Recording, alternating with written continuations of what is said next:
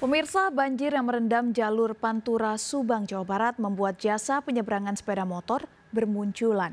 Mereka nekat menembus banjir setinggi satu meter lebih sambil memanggul sepeda motor pengendara yang tidak dapat melintas.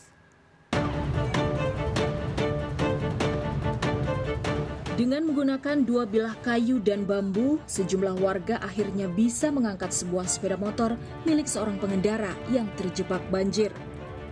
Warga lantas menggotong sepeda motor melintasi genangan banjir setinggi 1 meter di jalur Pantura Subang, Jawa Barat. Tak hanya dengan cara dipanggul, beberapa warga lain membuat rakit khusus untuk menyeberangkan sepeda motor. Menurut seorang warga, awalnya ia dan beberapa temannya hanya membantu warga mendorong motornya yang mogok di tengah banjir. Namun saat banjir makin tinggi, banyak pengendara yang membutuhkan jasa penyeberangan motor agar lebih aman dari kepungan banjir.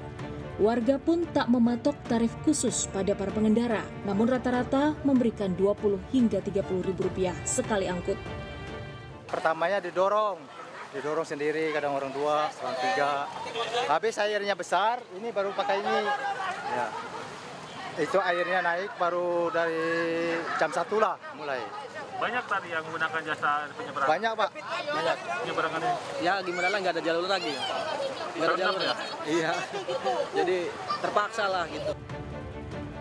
Tak hanya sepeda motor, sejumlah bus juga terendam hingga 50 cm hingga roda bus tak terlihat.